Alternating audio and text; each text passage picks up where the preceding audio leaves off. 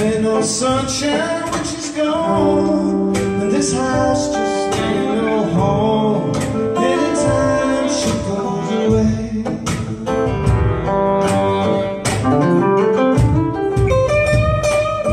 the way the industry is structured, it's not structured really to benefit the creative people. Right. So, generally speaking, all label deals, most label deals, overwhelmingly most label deals, Yeah. are going to be bad because you don't have any leverage to negotiate a better deal. And this, the industry standards for an, an up and coming and not yet established artist are terrible. Hmm. Uh, But that's just the way they are. And I'm okay with that because at least you know what you're getting. Right. The problem we find more often than not is there are a lot of people who want to be in this industry. Mhm. They want it, Yeah. but they don't have the skill, talent, or connections to do it.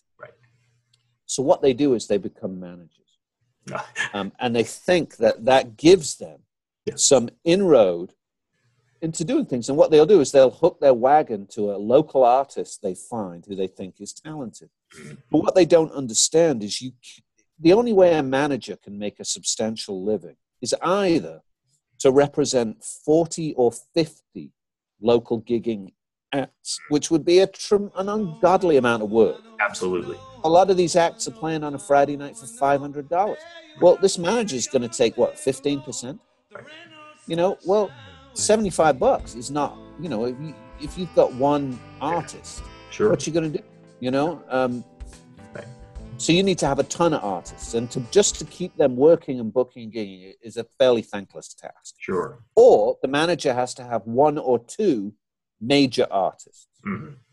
And that's almost impossible to do. So what happens is the young up and coming wannabe managers will find one or two artists. They will work maybe, maybe they'll even work hard but they'll suddenly discover that they're working 60 hours a week and they're making $200 Mm.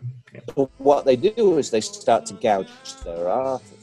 And i've seen this uh, you know not personally but i see it from you know up and coming people who are my clients. Yeah. they'll say you know well their, their managers will say well i want 20% instead of 15 i want 20% of this. And now also i want 20% of this.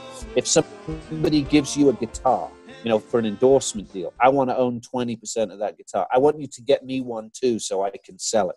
Right. you know? Well people just need to understand that that's not how you're going to make money. Right. so find an artist if you're desperate to be in the in the business find an artist you love and believe on and be prepared to put in a couple of years of sweat equity Hmm. and and don't think there's, there's no get rich quick schemes in the music industry anymore